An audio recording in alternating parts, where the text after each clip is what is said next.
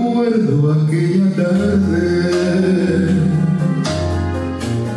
que jugando me besé. Parecía una aventura confieso que me equivoqué. Te besaba en el silencio ya no pude fingir.